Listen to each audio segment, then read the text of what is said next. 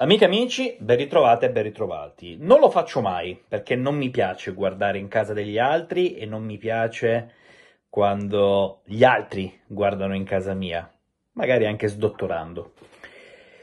Però oggi consentitemi questo strappo alla regola perché la notizia dell'ormai passaggio imminente di Sandro Tonali dal Milan a Newcastle, secondo me, ci obbliga a una riflessione. Per ci obbliga intendo come sistema calcio Italia, come usi e costumi nostrani, come gap che appare ormai incolmabile con la Premier League. Fermo restando che non voglio parlare in questo video di tecnicismi perché eh, su Google possiamo trovare tutti, no? Uh, quali siano i ricavi della Premier, eh, come in questo momento se parliamo di questo campionato parliamo di quello più blasonato al mondo, ancora per poco perché mi sembra che eh, in Arabia Saudita abbiano iniziato a fare sul serio e quindi se iniziano a fare sul serio loro c'è davvero da preoccuparsi considerando le eh, risorse praticamente infinite a disposizione. Però oggi posso anche intuire come si sente un tifoso del Milan perché Tonali 23 anni. Tonali ha fatto un, tipo, un certo tipo di percorso che l'ha portato dal Brescia al Milan. Primo anno difficile, qualche riflessione dello stesso Milan eh, circa puntare o meno su questo ragazzo che per facilitare la sua permanenza a Milanello effettua delle mosse, eh, spinge tanto, tanto, tanto, eh, si mette anche a disposizione per abbassarsi l'ingaggio e poi eh, tutto ciò viene premiato con un cammino bellissimo, quello legato alla passata stagione che ha portato i rossoneri sul tetto d'Italia. Eh, Tonali è patrimonio anche della nazionale, e bisogna sperare fortemente che poi possa anche con la casacca azzurra eh, emulare le gesta che ha proposto con quella rossonera. Ma il fatto che un giocatore giovane, classe 2000, sei giovane, poi hai esperienza, ma sei giovane dal punto di vista della componente anagrafica. In auge, magari anche con margini di crescita, venga portato via così dal Newcastle, a me spiace. E ribadisco, non seguo il Milan professionalmente, non tifo il Milan, quindi è un discorso davvero da uh, super partes. Ma eh, questa facilità di spesa Mm, della Premier in generale, del Newcastle, che eh, basti vedere poi la proprietà, eh, davvero mi fa pensare, mi fa pensare tanto e mi terrorizza ulteriormente, perché noi abbiamo capito, per tot anni, e chissà quanti saranno questi anni, noi non tocchiamo palla, noi Serie A.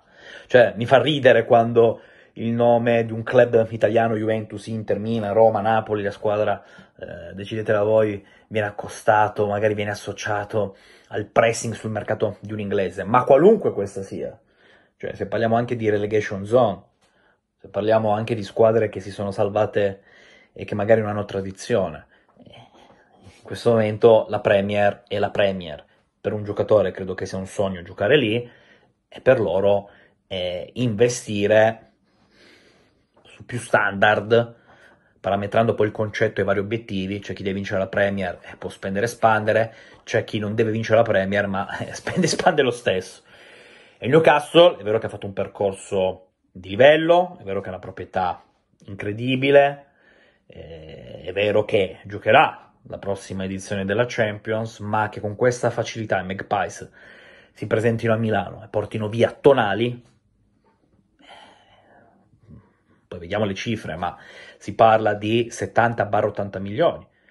Eh, ci deve far riflettere, poi tra l'altro ieri è circolata anche la voce di un Tottenham sempre più caldo che starebbe per prendere Vicario, il portiere dell'Empoli, per 20 milioni, e chissà quante altre notizie arriveranno eh, di questo genere. Per cui quando io, proprio alle battute iniziali di questa sessione di mercato, che tecnicamente deve ancora aprire, vi dicevo, vi ho fatto un quadro realistico, in base alle informazioni in mio possesso, che poi possono essere sbagliate le volte, ma le volte possono essere anche giuste, in questo caso credo che siano giuste. Quando vi ho detto la Juve senza Champions deve fare ossigeno per i conti sull'ordine di 120-130 milioni e dunque bisogna far funzionare le idee. E questo è. perché non si può competere con questo mondo, non competeremo chissà per quanto. Quindi bisogna essere lucidi, tempestivi, lungimiranti e coraggiosi, perché il Newcastle di turno può arrivare domani a Torino, presentare un'offerta per Vlaovic, presentare un'offerta per Chiesa, presentare un'offerta per Fagioli, presentare un'offerta per Bremer e te li porta via questi calciatori, te li porta via, a meno che eh, poi il calciatore coinvolto non decida di fare un gesto estremo che è quello di rimanere nel club di appartenenza. Ma è veramente un gesto estremo perché eh, leggevo che la proposta Tonali sia il doppio, praticamente il doppio dell'attuale stipendio, credo che lui percepisca più o meno 3 milioni e mezzo netti. Arrivano e ti dicono te ne diamo 7 per 5 anni più bonus, che magari un bonus è un milione al primo starnuto, eh, un altro milione e mezzo se riesce a camminare, eh, fare un, due metri, eh, cioè, ragazzi, la situazione è davvero critica, è davvero critica, impone una riflessione, ma non mia che non conto niente e nemmeno la vostra che vale più o meno la mia, magari può essere più illuminata la vostra, ma io intendo come sistema calcio Italia. Eh, perché questi, questi segnali sono pessimi, sono pessimi e io ho la sensazione che questo sia solamente l'inizio. Non riesco a fargli una colpa al giocatore perché ti raddoppiano lo stipendio così. È chiaro che se avessi sentito Tonali va al City, Tonali va al Liverpool, Tonali va al Man United, lì avrei potuto capire. Ma il Newcastle, il Newcastle che riesce così con facilità forte, ribadisco, di una proprietà che si può comprare praticamente il mondo, e che viene con questa facilità in Italia, mette sul piatto 70 milioni, raddoppia l'ingaggio al calciatore, tanti saluti, è un gesto che ci deve far riflettere. Un gesto che ci deve far riflettere. Per il resto, vediamo cosa scatenerà questa cessione, perché adesso il Milan con i soldi in mano è lecito pensare che possa andare in casa del Sassuolo e fare una proposta per Frattesi. Ieri abbiamo visto questo incontro tra Juve e Sassuolo a Milano, ma da quello che mi risulta, da quello che ho scritto sia su Gol sia sui miei social, è stato un incontro interlocutorio. Eh, probabilmente la Juve ha cercato, avvertito no, che stesse accadendo qualcosa ieri con Tonali ormai eh, in direzione Newcastle e quindi ha provato a capire eh, anche le intenzioni dello stesso Sassuolo, che sono molto chiare, vendere a colui che ti offre più soldi, ed è giusto anche che sia così. E ora il Milan, a differenza la Juve che comunque attende eh, una risposta sempre da Adrien Rabiot, siamo al 22 di giugno e questa risposta prima o poi arriverà. Eh, anche l'Inter che è stata data dai più anche in vantaggio sulla Juve per prendere eh, Frattesi, però anche l'Inter deve fare un po' di cassa, si parla probabilmente di Brozovic che potrebbe andare via.